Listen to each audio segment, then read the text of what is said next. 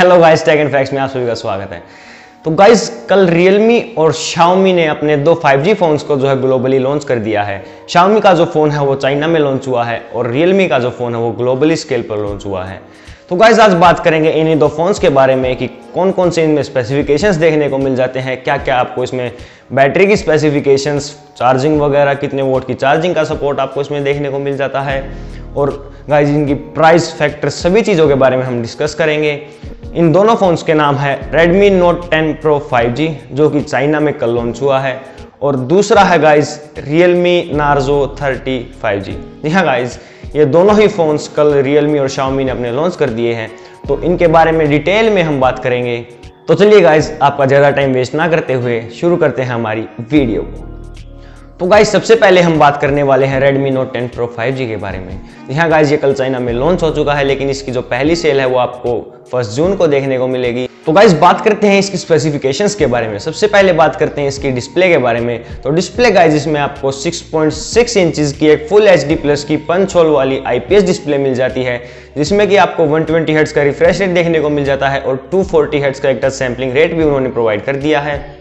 इसमें आपको 450 निट्स की एक पीक ब्राइटनेस देखने को मिल जाती है DCI P3 colour gamut Corning Gorilla Glass Victus की प्रोटेक्शन देखने को मिल जाती है और IP53 आपको वाटर एंड डस्ट रेजिस्टेंस भी इसमें आपको स्क्रीन देखने को मिल जाती है। तो गाइस बैटरी की बात की जाए तो बैटरी इसमें आपको 5000 थाउज़ेंड की देखने को मिल जाती है और 67 वोट की सुपर फास्ट चार्जिंग का आपको इसमें सपोर्ट देखने को मिल जाता है। और वेट और फॉर्म फैक्टर की बात की जाए तो ये आपको 193 ग्राम्स का वेट इसमें देखने को मिल जाता है। और इसकी साउंड और कनेक्टिविटी के बारे में बात की जाए तो इसमें आपको JBL के ऑडियो ड्यूअल स्पीकर्स देखने को मिल जाते हैं। यहाँ गाइस इसमें आपको ऑडियो में JBL का सपोर्ट देखने को मिल जाता है, जो कि काफ़ी अच्छी बात है।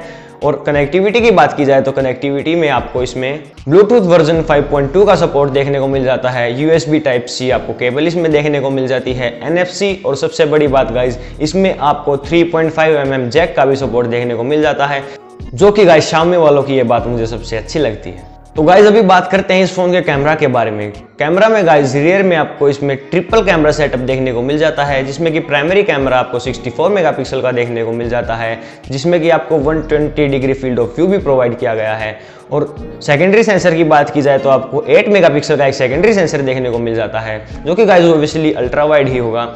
और एक आपको 2 मेगापिक्सल का थर्ड सेंसर देखने को मिल जाता है, जिसकी कि गाइज़ कोई भी उन्होंने स्पेसिफिक जानकारी नहीं दी है कि वो आपको मैक्रो सेंसर देखने का मिलेगा या टेलीफोटो क्या होगा? उसके बारे में गाइज़ कोई भी अभी लीक सामने नहीं आई है। तो गाइज़ अब बात करते हैं इस फ़ोन की सबसे ज़रूरी चीज़ के बारे में, जो कि इस फ़ोन का प्रोसेसर है। यहाँ गाइज़ इसमें आपको मीडिया टेक डायमेंसिटी 1100 वाली एक बहुत ही पावरफुल चिपसेट देखने को मिल जाती है।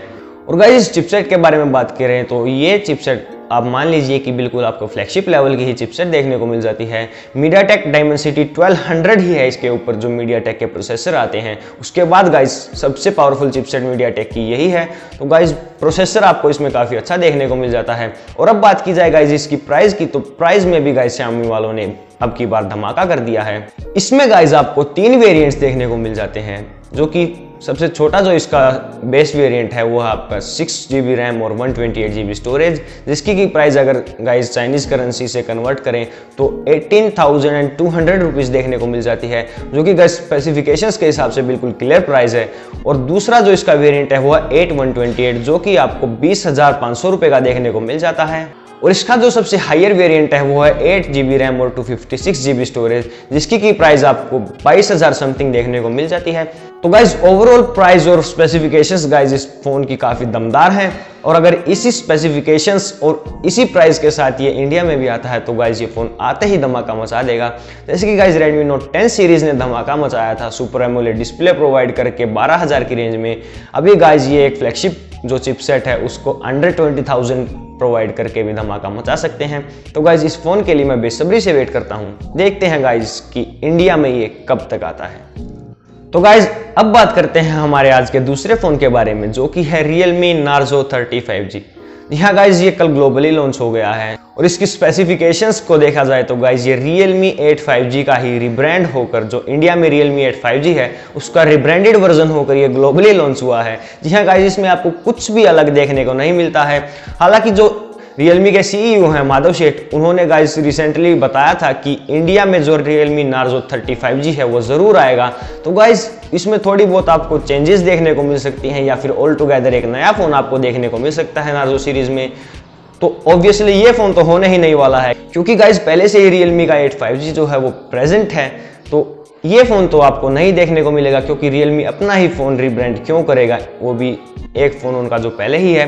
तो गाइज़ इसकी स्पेसिफिकेशंस की बात करें, जो कि ये ग्लोबली लॉन्च हुआ है तो इसमें आपको देखने को मिल जाती है 6.5 इंचज की एक फुल एच डी प्लस की आईपीएस डिस्प्ले जिसमें कि आपको 90 हर्ट्ज का रिफ्रेशर देखने को मिल जाता है, और 180 हर्ट्ज का आपको टच सैम्पलिंग रेट भी रियलमी ने प्रोवाइड किया है। इसमें आपको 6.5 इंचज की फुल एच डी प्लस की एक पंच होल डिस्प्ले दिखने को मिल जाती है। जिसमें कि 90 हर्ट्ज रिफ्रेश रेट और 180 हर्ट्ज का टच सैम्पलिंग रेट भी आपको देखने को मिल जाता है। इसमें आपको 90.5 परसेंट की एक स्क्रीन टू बॉडी रेशो देखने को मिल जाती है और इसमें आपको साइड माउंटेड फिंगरप्रिंट सेंसर भी देखने को मिल जाता है। बैटरी और थिकनेस की बात की जाए तो गाइज़ इसमें आपको 5000 थाउज़ेंड की बैटरी देखने को मिल जाती है और इसमें आपको 18 वोट का क्विक चार्ज का सपोर्ट भी देखने को मिल जाता है। और ये आपको 8.5 पॉइंट mm की थिकनेस पर देखने को मिल जाता है और वेट में गाइज़ ये 185 ग्राम्स का तो काफ़ी अच्छा उन्होंने मैनेज किया है। कैमरा की बात की जाए तो आपको इसमें ट्रिपल रियर कैमरा सेटअप देखने को मिल जाता है, जिसमें कि प्राइमरी कैमरा 48 मेगापिक्सल का देखने को मिल जाता है। और एक सेकेंडरी सेंसर देखने को मिल जाता है, जो कि दो मेगापिक्सल का, जो कि एक मोनोक्रोम सेंसर है, और एक दो मेगापिक्सल का आपको थर्ड सेंसर भी देखने को मिल जाता है। और सेल्फी की बात की जाए तो गाइज़ इसमें आपको 16 मेगापिक्सल की एक पंच होल सेल्फी देखने को मिल जाती है। और गाइज़ प्रोसेसर की बात की जाए तो प्रोसेसर भी आपको इसमें मीडिया टेक डायमेंसिटी सेवन ही देखने को मिल जाता है।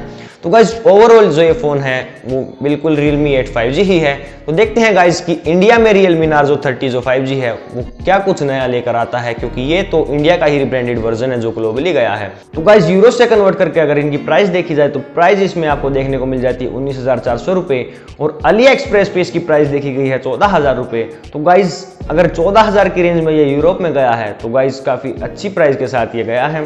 तो देखते हैं गाइज़ कि इंडिया में ये कब तक आता है और क्या कुछ नया लेकर आता है रियलमी नार्जो 30 सीरीज़ में। तो गाइज़ इसके लिए हमें थोड़ा सा वेट करना पड़ेगा। तो गाइज़ आज की वीडियो में इतना ही। उम्मीद करता हूँ आपको हमारी वीडियो पसंद आई होगी। अगर पसंद आई हो तो वीडियो को लाइक ज़रूर कीजिएगा और चैनल को सब्सक्राइब भी ज़रूर कीजिएगा और बेल आइकन को भी ऑल पे क्लिक कीजिएगा ताकि आपको हमारी लेटेस्ट नोटिफिकेशन मिलती रहे। तो चलिए गाइज़ मिलते हैं आपसे हमारी अगली वीडियो में। तब तक के लिए गुड बाय